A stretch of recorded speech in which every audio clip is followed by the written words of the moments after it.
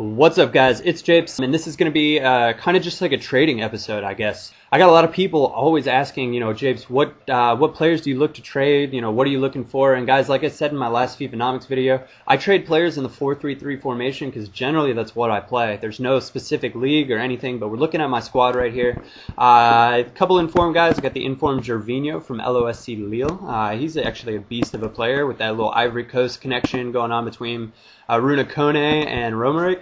Uh, and then the informed Rakitic, who actually I think is a to- the perfect complete center mid. Guys, I love center mids that have stats where they're at least 70 above in all things that matter. Heading doesn't really bother me if it's not a good stat for them. Guys with 86 shot, 86 passing, and 84 dribbling, he does everything well. Uh, I don't really care about having really, really pacey center mids. It's just not something that's important. The other buy here, I haven't played a game with him yet, but Diego Lopez just picked him up for 15k, guys. And he's got the one thing that I look for in all my goalkeepers, and that's to be tall. I believe he's 6'5 with 90 positioning. So when people try to do the in-cut finesse shot far post, guys, he's going to do a really, really good job of stopping that. So I'm excited to get some gameplay in and uh, see what he plays like. So guys, I've got 291,000 coins right now. Uh, Javi Varas just sold there. And this is the buy that I just had that kind of triggered me to do this. I just bought the Inform, or Team of the Year, I believe, Antonio Di Natale for 148,000 coins, guys. I believe I saw him sell yesterday for like 200k. So I'm looking forward to try to sell him. Uh, all these guys are going to be in 4-3-3 formations. This is my Leandro Lima. I picked him up for 5,500 coins. Guys, what I like to do is just list them for prices. All If I'm not playing games, guys, I list them for prices where if they sell for that price, that's awesome because I know I can get them back cheaper. And if they don't sell, then it's not that big of a deal for me because I'll use them. I'll use them in another squad.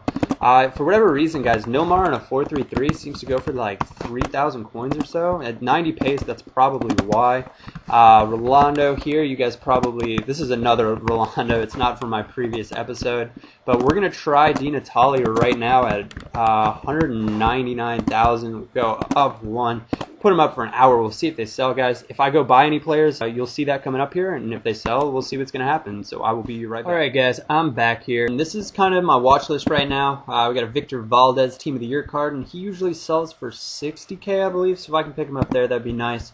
Uh, Rakitic, I'd only make a couple K on. And these Louis Zaus, I can know I can sell for buy nows at 20, so that'll be a nice little profit there. And Car- Oscar, I believe it's Oscar Cardozo. I think I can sell him for probably 13K. Guys, some people, I meant to bring this up before, but some people ask me what my, I guess, trading philosophy is for Ultimate Team. Guys, in my, what I think is it's better to trade a lot of cards and make a little bit of profit off of each card versus trade just a few cards and make like big profit off of uh, just that few card guys.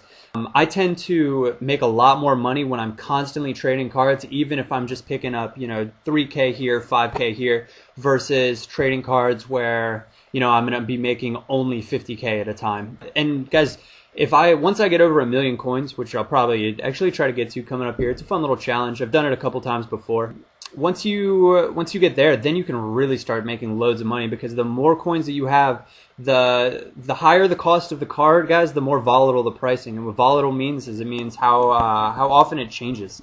I guess, or how um, likely it is to change. But guys, Antonio Di Natale picked him up for 149,000, sold it for 185. Nice little profit there.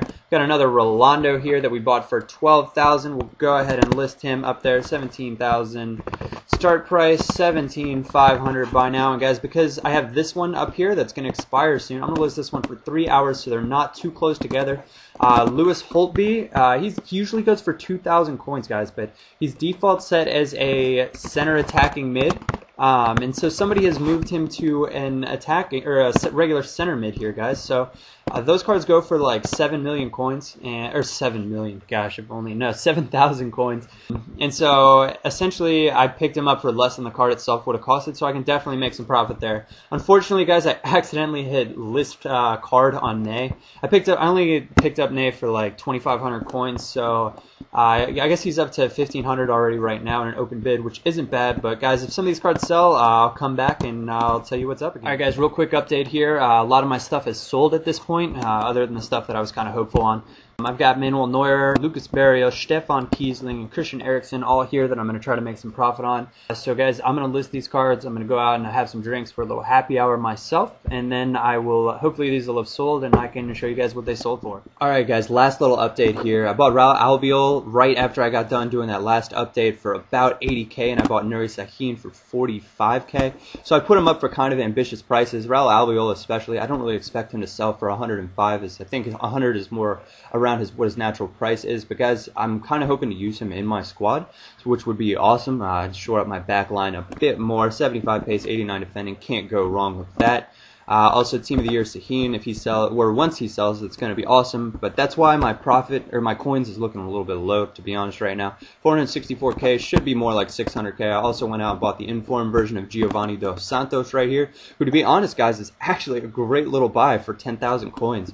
Uh, so go pick him up, give him a shot if you haven't done so yet. Uh, another quick update, guys. I got a Twitter account. I was told to do that. I don't know what Twitter's really used for, uh, but it's Twitter slash AirJapesFIFA, I think is what it is. So, guys, I guess follow me on that if you want to. Um, but as always, guys, if you like my videos, give it a thumbs up. If you like seeing me day trade, let me know. Leave a comment. Uh, as this is something that's really, really easy for me to do and something that I kind of enjoy doing and do quite frequently. But otherwise, guys, this is Japes, and I will catch you guys next time.